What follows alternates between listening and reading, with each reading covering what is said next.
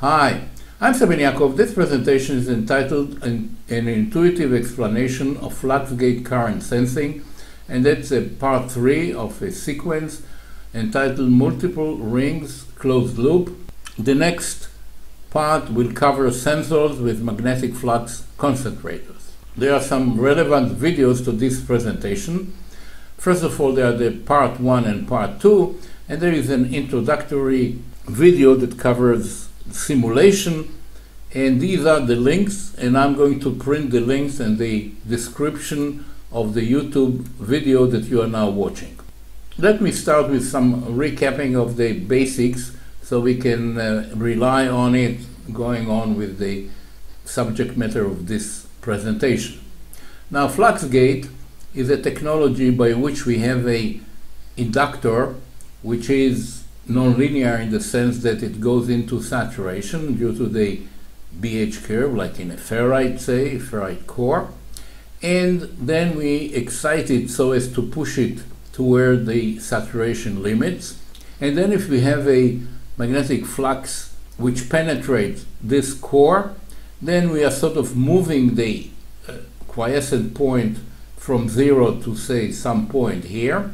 And then as we swing the core or the BH curve up and down, we have some asymmetry which results in a second harmonics which is indicative of this offset here. So this is actually a way to measure the current which is causing this offset. Typical waveforms here will be this is the excitation, this is the flux and we can see that it goes into saturation the current will be part time of relatively low value because the inductor is sort of limiting the current. But then as the core goes into saturation, let's say here, then the current is limited by the series resistor of the excitation. Here it is, this resistor is actually limiting the current when this inductor actually collapses when it goes into saturation. So by looking now at this asymmetry, we can actually tell as to whether there is an outside field or current which is affecting the offset. And this can be done by looking at the second harmonics, which tells us about the asymmetry. And the second harmonics can be obtained by multiplying the signal.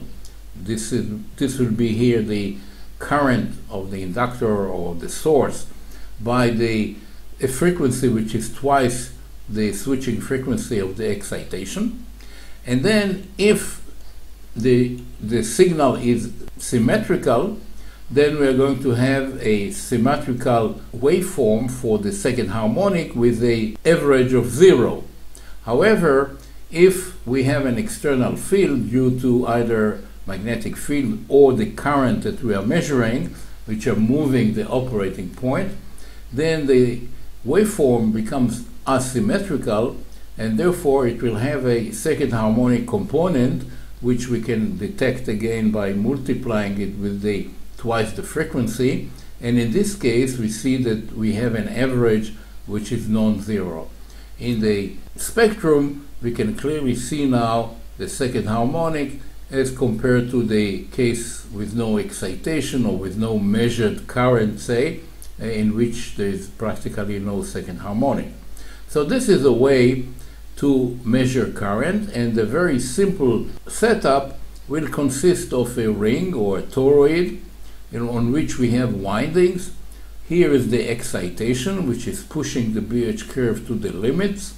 This is the wire that we, have, that we want to measure the current of and we look at the current of this excitation and this is the demodulator, which is doing this uh, multiplication by the twice the switching frequency. And then we have a low pass filter for getting a sort of a DC component, which is representing this asymmetry. And in turn, it's actually reflect what is the value of the current in this line. Now, the disadvantage of this uh, very simple configuration is that we have a large signal here which has a lot of the first harmonic and other harmonic other components and therefore it is a little bit difficult to extract the information that we want, the second harmonic, which is relatively small as compared to other signal which is mixed here.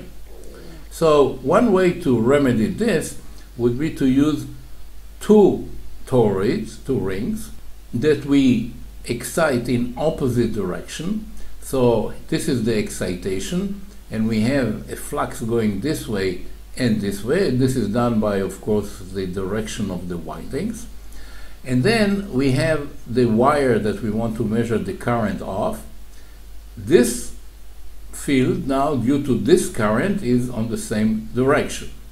So now we have now two signals which are coming of opposite direction. So the first harmonic of these signals is the same because they are exposed to the same type of excitation, but the signals of are opposite, so by subtracting these, we actually can subtract the first harmonic and some other components, and we are left with the second harmonic, so therefore our sensitivity and robustness of uh, signal to noise is improving, and therefore this is a much better solution. To demonstrate the operation of this approach, I have here a LT Spice schematics. These are the two inductors, two toroids you might say. I'm showing here two excitation in opposite direction. Okay, these are now the representing the current or the field or the magnetic flux due to the current that we want to measure, same direction on the two. And then we have a subtraction here, this will do the subtraction, and multiplication by twice the frequency to extract the second harmonic. And here are the result of the simulation. This is the case with no measured current. So the waveforms are symmetrical, and when we subtract, or this is now in opposite direction, so we have to add, then we get a zero, net zero result, and therefore the output of the second harmonic, multiplying it by the second harmonic will also be zero, of course. But if there is a signal that we want to measure, then it is shifting the operating point. The signal becomes asymmetrical. We see here the wider pulse than here. So when we subtract the two, or add in this case because they are opposite direction, we have this difference here. And of course, when we multiply by this uh, twice the frequency to extract the second harmonics, we have a signal. This is after filtering, and in this case, we get 0.5 volt. So this is a much better solution. However, this solution relies on the operation of the ferromagnetic material. And if it is changing due to temperature, etc., we may get a, a different response. So this is an open loop operation, and we can improve on it by operating the system in closed loop. The idea is that we have now a feedback with winding that cover the two toroids, such that when we inject the current here, we can cancel the flux due to the current which is measured. So in this case, we are looking for zero. We are not looking for a value, but we are increasing this current to the point that the net flux will be zero, and this we are detecting by the same method, but here we are detecting zero, just the zero, not the value.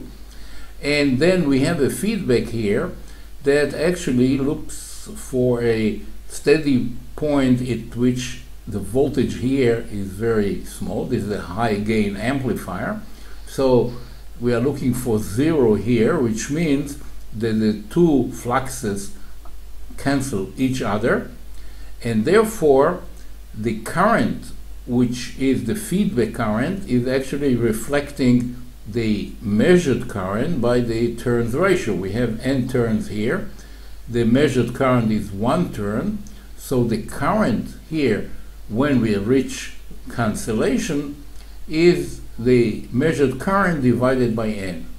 So this system is of course much much better because we are not measuring a value which depends on the parameters of the system of the components but rather looking for a zero and therefore we get a much higher accuracy.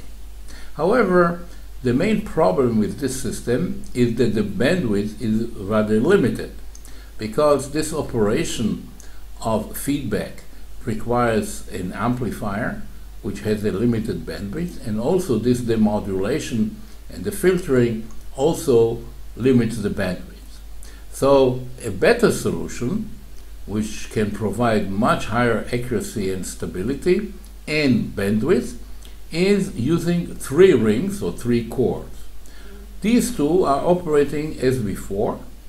The third one is used in order to boost the bandwidth. So let's see how does it work. When we are at relatively low frequency of DC, we have the two cores. Operation is the same. We are measuring the current here, subtracting it, and then feeding into the power amplifier measuring the current of the feedback. So this is as I've shown before. The output of this core is very low at DC 0 because there is no flux change and at uh, low frequency it's also very low because the voltage is dependent on the phi dt or the IDT and if the frequency is low, low frequency, then of course the sensitivity is very low and the voltage that we can see here will be extremely small.